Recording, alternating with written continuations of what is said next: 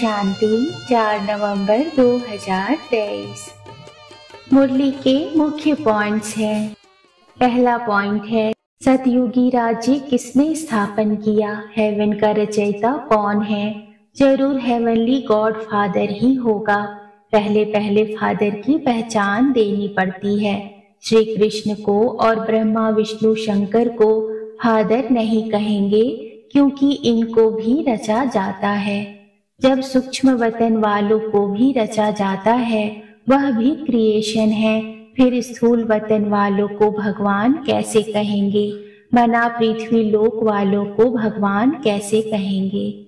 दूसरा पॉइंट है, बाप फरमान करते हैं जितना हो सके याद को बढ़ाते रहो। देह अभिमान में आने से तुम याद नहीं करते, न बुद्धि पवित्र होती है। शेरनी के दूध के लिए कहते हैं, सोने का बर्तन चाहिए। इसमें भी पिता वर्ता बर्तन चाहिए।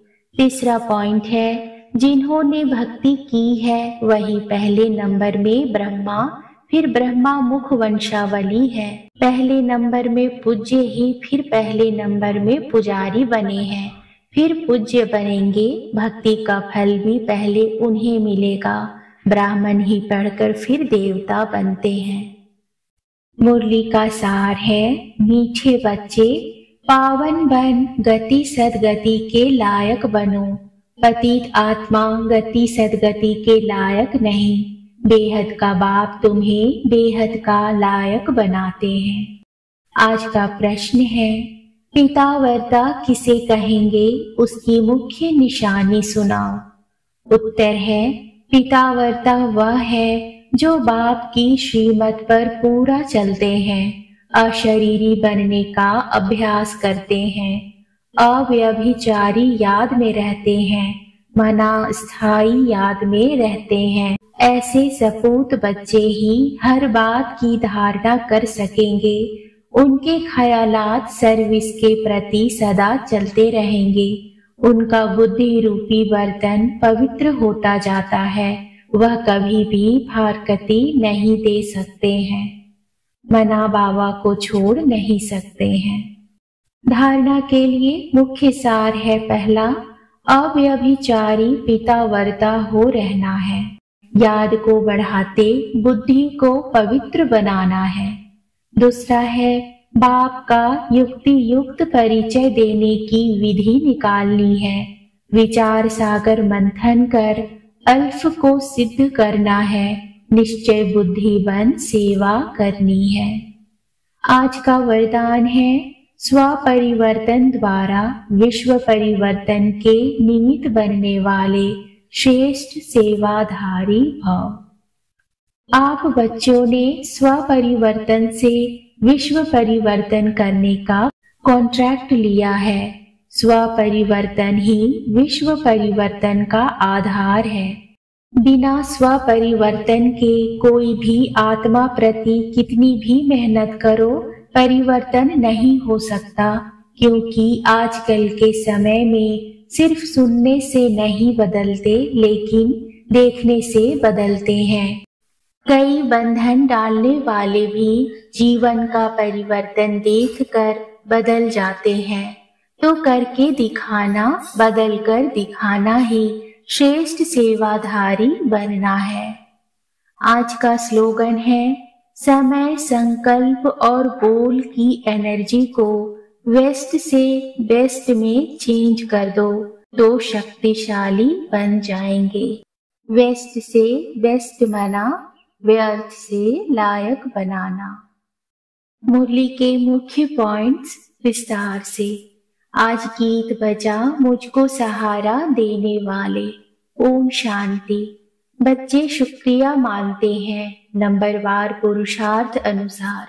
सब एक जैसी शुक्रिया नहीं मानते। जो अच्छे निश्चय बुद्धि होंगे और जो बाप की सर्विस पर दिल व जान से व प्रेम से उपस्थित है, वो ही अंदर में शुक्रिया मानते हैं।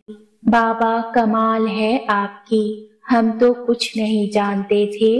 हम तो लायक नहीं थे आपसे मिलने के, सो तो बरोबर है, माया ने सबको नालायक बना दिया है। उनको पता ही नहीं है कि स्वर्ग का लायक कौन बनाता है। और फिर नर्क का लायक कौन बनाते हैं? वह तो समझते हैं कि गति और सदगति दोनों का लायक बनाते हैं बाप। नहीं तो वहाँ के लायक कोई है नहीं। खुद भी कहते हैं, हम पतीत हैं।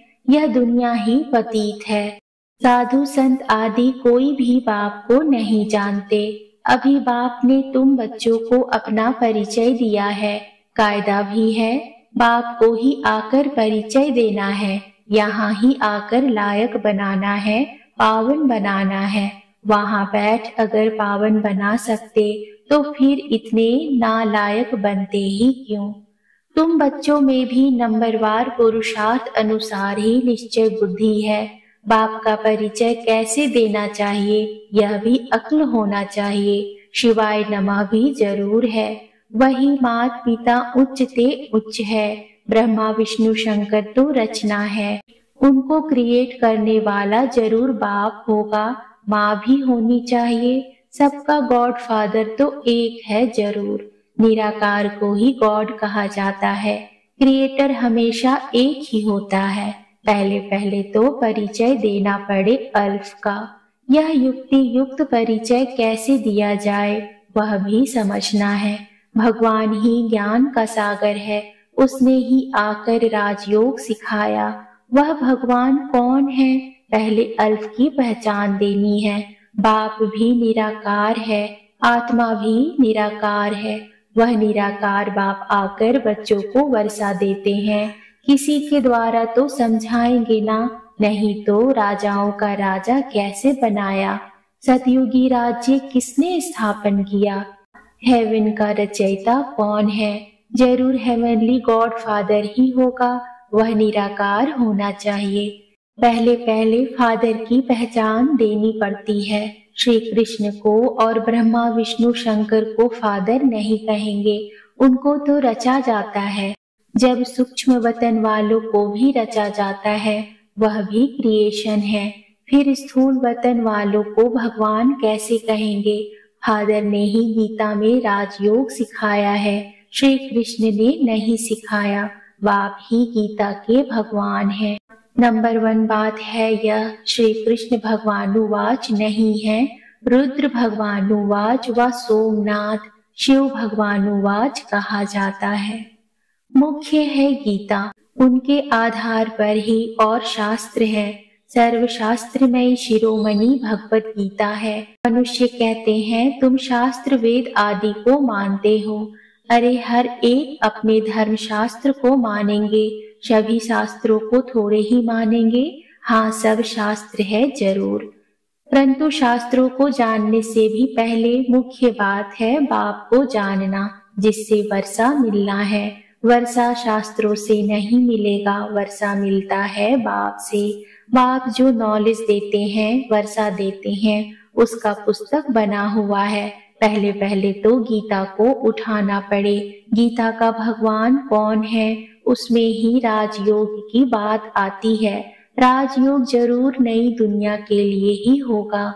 भगवान आकर पतित तो नहीं बनाएँगे, उनको तो पावन महाराजा बनाना है। वही राजयोग सिखलाते हैं। वह कोई राजा नहीं है। वह राजयोग सिखलाए, राजाओं का राजा बनाते हैं। भगवान ने राजयोग सिखाया है। श्री कृष्ण ने राज्य पद पाया है। उसने ही गवाया है। उसको ही फिर पाना है। बाप फरमान करते हैं, जितना हो सके याद को बढ़ाते रहो। देह अभिमान में आने से तुम याद नहीं करते, ना बुद्धि पवित्र होती है। शेरनी के दूध के लिए कहते हैं, सोने का बर्तन चाहिए, इसमें भी पिता वर्ता बर्तन चाहिए। अव्यभिचारी पिता वर्ता बहुत थोड़े हैं, कोई भी बिल्कुल जानते नहीं। पाँच छह वर्ष रहकर भी फिर बाप को अथवा पति को हरकती दे देते हैं, माया इतना तंग करती है। तुम्हारी बुद्धि में है कि हम पढ़ते हैं सतयुग आदि के लिए। स्कूल पूरा होगा और हमारा फाइनल पेपर होगा। जाकर राज्य करेंगे। गीता सुनाने वाले ऐसी बातें समझा नहीं सकते। पहले तो बाप को जानना है। बाप से वर्षा लेना है। बाप ही त्रिकालदर्शी है और कोई मनुष्य दुनिया में त्रिकालदर्शी नहीं। वास्तव में जो पूज्य है, वही फिर पुजारी बनते हैं। भक्ति भी तुमने की है और कोई नहीं जानते। जिन्होंने भक्ति की है, वही पहले नंबर में ब्रह्मा, फिर ब्रह्मा मुख वंशावली है। आपे ही पूज्य भी यह बनते हैं। पहले नंबर में पूज्य ही, फिर पहले नंबर में पुजारी बने हैं। फिर पूज्य बनेंगे। भक्ति का फल भी पहले उन्हें मिलेगा। ब्राह्मण ही पढ़कर फिर देवता बनते हैं। पहले पहले जब शुरू करो तो बोलो, शिव भगवानुवाच वह सबका रचयिता है। फिर श्री कृष्ण को ज्ञान सागर गॉड फादर कैसे कह सकते? लिखत ऐसी क्लियर हो जो पढ़ने से अच्छी रीति बुद्धि में बैठे।